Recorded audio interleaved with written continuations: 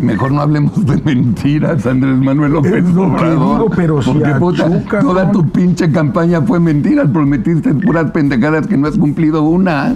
Una. No solo toda la campaña, todo el gobierno, Sí, todas las Y mañanas. de presidente, que no eres presidente, has mentido. Todos Llevas- los días. ¿Cuántas lleva? Ya son 110 Ciento- por, no, por más, día, más. por día. Ya Luis. Estrada lo que nos dijo, Sí, fueron sí. 110. Tú mientes cada como 40 segundos. Esto que estás diciendo de mí es otra mentira. Como tú haces propaganda desde el día uno, acompañado del jovencito Jesús Ramírez ese Cuevas. pendejo, ese Ramírez, ese Jesús, lo único que hacen ustedes es propaganda. Lo único. Y la hacen con el culo porque lo hacen pésimo. No tienen ni idea ni cómo manejar la información. Como ustedes hacen propaganda, ¿cuál es la respuesta? Pues haz propaganda. Pues sí. No hagas publicidad. Miente igual que, que. Morena. Hoy me difamó. López ¿Qué dijo? Obrador, ¿qué dijo? ¿Qué dijo? Hoy AMLO te atacó. Enseñó en la mañanera, ahorita lo vamos a ver, un fragmento de Platicando con Madrazo de enero del 2023, donde dices que se gana con mentiras y que odias a los tabasqueños hablando de Ah, González sí, sí, Pedrero. sí, sí, sí, sí.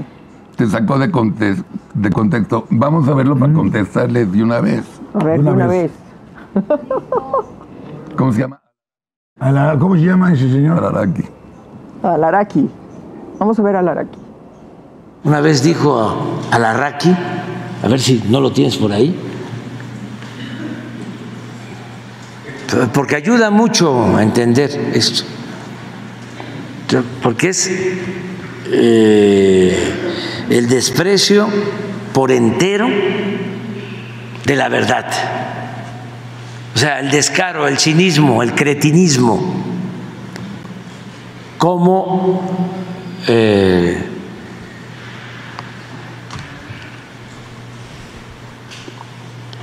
información como, como periodismo, que no, el periodismo es un oficio muy noble, que ni los más sucios periodistas han podido manchar. Pero para que vean qué es el periodismo mercenario vendido. No, hay una donde dicen. Eso, sacamos el uso de la mentira como arma política. sí, pero lo tienes, pero que lo, pero que la gente este lo pueda escuchar y ver. Entre más mentiras sí, utilices, mejor.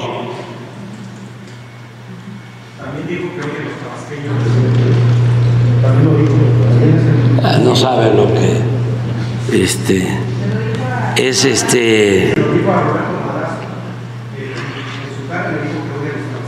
sí no pero eso es otra cosa este eh,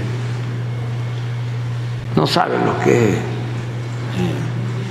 un tamal de masa colada no encuentran a, a Larraqui Sí, es que dicen que mientras más mentiras se digan contra Morena, mejor le va. Pero nada más Eso con esa frase. Con esa frase. nada más eso ahí está tenía, como no me contrató nadie, así que lo puedo decir con una tranquilidad, yo tenía la solución a nivel de me- mercadotecnia.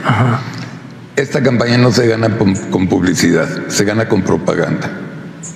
Y mientras más mentiras des contra Morena, mejor te va. Ya, ya. Eso es todo.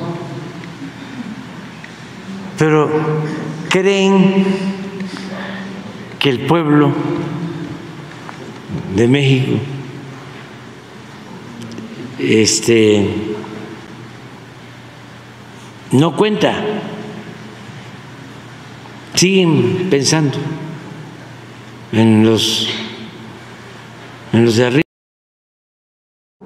A ver, mejor no hablemos de mentiras, Andrés Manuel López Obrador. digo, pero si porque, puta, toda ¿no? tu pinche campaña fue mentiras. Prometiste puras pendejadas que no has cumplido una. Una. No solo toda la campaña, todo el gobierno, Sí, todas las y mañanas. de presidente, que no eres presidente, has mentido. Todos Llevas- los días. ¿Cuántas lleva? Ya son 110 Ciento- por, no, por más, día, por más. día. Ya Luis. Estrada lo que nos dijo Sí, ahora fueron sí. 110. Tú mientes cada como 40 segundos. Esto que estás diciendo de mí es otra mentira, porque dentro del contexto te lo voy a explicar. Estábamos hablando de lo que es publicidad política contra propaganda. Como tú haces propaganda desde el día uno, acompañado del jovencito Jesús Ramírez ese Cuevas. pendejo, ese Ramírez, ese Jesús, lo único que hacen ustedes es propaganda. Lo único. Y la hacen con el culo porque lo hacen pésimo. No tienen ni idea ni cómo manejar la información. Como ustedes hacen propaganda, ¿cuál es la respuesta? Pues haz propaganda. Pues sí. No hagas publicidad. Miente igual que, que Morena, pero miente más creativo, miente mejor. Era re fácil ganar. Muy fácil en Bueno, ese y- sentido. y, y por qué dice que tú que, que odiabas a los tabasqueños? ¿Tú odias a los tabasqueños? No, yo odio a López Obrador. Odio a que en paz descanse González Pedrero. También lo odias. Será mi director, me quiso correr Ah, de Azteca, de Imevisión. Una basura que en paz descanse. No, no, terrible. Sea, una basura que en paz descanse. Que Dios lo tenga en su santa gloria al hijo de su puta madre. Exactamente. no puede ser. ¿Por qué? Ya dije Bueno. que en paz descanse. Pero, pero a ver, de, de Yo qué- adoro a los tabasqueños. Yo ojo. también. No soporto a Andrés ¿de y no soporto qué- al, a el otro. ¿O por qué saliste al Ah, tema no hoy? sé. Yo no veo las mañaneras. No, yo pues tampoco. Pero a ver, ¿de qué o por qué saliste al tema? Como si no. Como ¿Por si qué no salí noticias. Juan? Tampoco sabe nuestro director de información. Ahora, vamos a, vamos, ahí, ahí le va un, un quitarrisas al presidente. ¿Por qué no habla de estas cosas? Primera plana hoy del economista. La gasolina cuesta en México 60% más que en Estados Unidos. Y él prometió que iba a estar a 10 pesos. Hasta dijo, vengan a comprar gasolina en los gabachos. Sí. Aquí de este lado porque está más barato. Ve nada más, ve nada más. Se- digo, la redacción está del nabo aquí, del, del economista. Pero, pero la gasolina cuesta en México 60% más que en Estados Unidos. Está más cara, claro. Fíjate. Sí. Claro. Yo volé. Pero él prometió Ah, y mintió en su eh, campaña bueno. que iba a ser a 10 pesos. Él prometió Bueno. muchas cosas. ¿Quién mintió más, oye, él ¿por o yo? se mete contigo como, como si no hubiera broncas, como si no hubiera Porque Loret ya si se no metió toda la semana. Pues me sí. toca a mí, yo Ahora, cada tres semanas. Ojo, porque lleva a Loret tres entregas. Sí, le faltan 20, eh, Y, él- 37. y tiene 40 horas de grabaciones. Sí. Está Pues mejor que una eso- serie de Netflix esto, Sí. Pues por eso el cerco informativo, Claro. por eso el cerco mediático y por eso también busca la desaparición de órganos autónomos Claro. como el del INAI. El tema de la transparencia, por supuesto, le molesta y no solamente le molesta, es un obstáculo. Es un estorbo. Es un- exacto, es un obstáculo, es un estorbo para que él siga haciendo negocios opacos, oscuros e irregulares como lo que está haciendo en su gobierno. Mira, le- no, no quiere las autonomías, naturalmente. Fíjate que precisamente, bueno, dentro de este paquete de órganos autónomos que pretende desaparecer, y donde por supuesto estaría dentro la Universidad Nacional Autónoma de México, la autonomía de la, Ah, sí, de la sí, UNAM. si pudiera. Fíjate, hoy, hoy estaba leyendo una cosa que dijo, ¿ustedes se acuerdan de ese gran rector que tuvo la Universidad Nacional Autónoma de México en el 68, que fue Barros Sierra? Sí, cómo Sí, no. Claro, que se puso al que brillantísimo. se puso al frente, Al del movimiento sí, de- señora. de- de estudiantil. Fíjate, lo, fíjate Sí. lo que dijo Barros Sierra cuando sufría el acoso más eh, Sí. delicado por parte del gobierno y por parte del gobierno de un Díaz Ordaz en contra de la UNAM y contra de los estudiantes, fíjate lo que dijo Barros Sierra, lo que más profundamente molesta a los enemigos de la universidad, le hace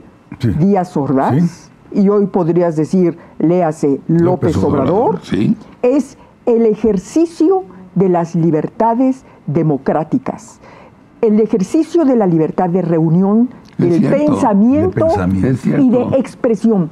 Eso es lo que molesta a vigente, los claro. autoritarios. En, un, en la versión más oscura de Díaz Ordaz, su autoritarismo, y la versión de un López Obrador, no hay mucha diferencia, señores, en este Estoy tema. totalmente de acuerdo. Y vean, para que puedan retomar lo que está diciendo Beatriz, esta magnífica producción que hizo Televisa, que, que por cierto produjo Emilio Azcarra y Polo Gómez de un extraño enemigo cuando habla del movimiento del 68. Y ahí aparece todo esto que estás comentando de Barros, Sierra, Barros Sierra. defendiendo la autonomía Claro. de la sí. universidad. Es importantísimo Claro. lo que estás diciendo. y- y- y defender la autonomía de los otros órganos autónomos. Por, ¿por qué crees que se crearon? Es que además no sirven para nada y entonces mejor los regresamos a la administración pública.